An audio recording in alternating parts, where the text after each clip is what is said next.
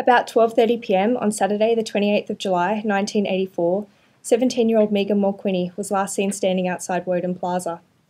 An extensive investigation by police, spanning 33 years, has failed to reveal her movements or location after this time. In 2009, an inquest into Megan's disappearance determined it extremely likely that she met with foul play and was murdered by a person or persons unknown. The place, manner, and cause of Megan's death remain unknown.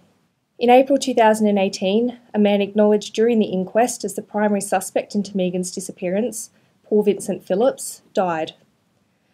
As a result of his death, a number of people have come forward to assist police, and as a result of this assistance, police now believe that Paul Vincent Phillips did not act alone. Paul Vincent Phillips spent the majority of his adult lifetime incarcerated for a series of violent sexual offences against young women. He lived a nomadic lifestyle, as was evidenced by his time in the ACT region, where he resided at 17 different locations. This included caravan parks and camping grounds. Paul Vincent Phillips was known to prey on his victims as they entered open car parks.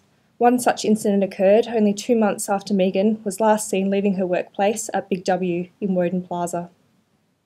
His victims would often appear young, have childlike features, they were petite in build, approximately 5 foot 4 inches tall, and would wear their shoulder length hair out. This description matches that of Megan.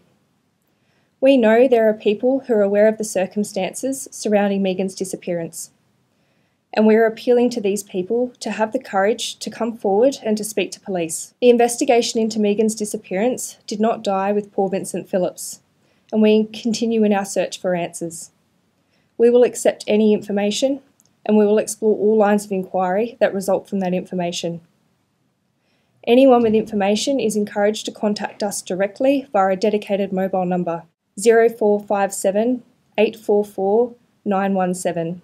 Or if you'd like to speak to us in person, we'll be set up at Woden Plaza about midday this Saturday, the 28th of July, the anniversary of Megan's disappearance. Information can also be provided anonymously via Crime Stoppers. Megan's family uh, to this day do not know her whereabouts or the circumstances of her death, uh, and those answers and uh, the investigation that we're conducting uh, will hopefully help them um, get some closure. But uh, that's that's something that motivates us on a daily basis. Uh, we believe there are people in the community that do know the circumstances of Megan's disappearance, or may be able to assist us at least in our investigation.